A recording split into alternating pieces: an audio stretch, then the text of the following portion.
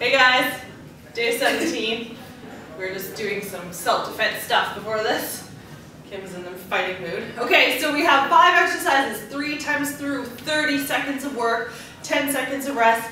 Kim is doing the advanced, I'm doing the modified. Get your timer, do your warm-up and your dynamic stretching. I sound pretty bossy this morning. All right, grab something heavy, sandbag, dumbbells, whatever you have at home. We're gonna lie down and we're just going to the nice open arms, you're just going to press for 30 seconds. So you have to make it pretty heavy because this is very light for me, which I'm okay with. All right, 30 seconds. Next one, jumping mountain climbers. So Kim's going to do the jumping. I'm just going to do as many as I can before I have to rest. All right, so I'm just going to do regular mountain climbers. And then I'll rest for a little bit if I have to. Kim's getting her butt up in the air. All right, next one. Skaters.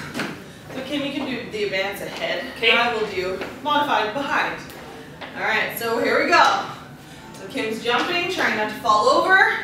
I'm trying to step as high or as big as and wide as I can for 30 seconds. All right, next exercise, fourth one, squat pulses. So feet together.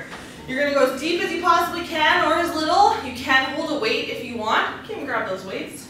And you're just pulsing for 30 seconds. Weight in your heels. It will burn your thighs. All right, last one. Plank with a side kick. All right, so. Side out this Yep, there you go. And I'm just gonna go for my knees and I'm just gonna kick out. Try not to let my back do this. For 30 seconds. All right, then you guys are gonna repeat that two more times and you're gonna get really sweaty and have fun. Okay, bye.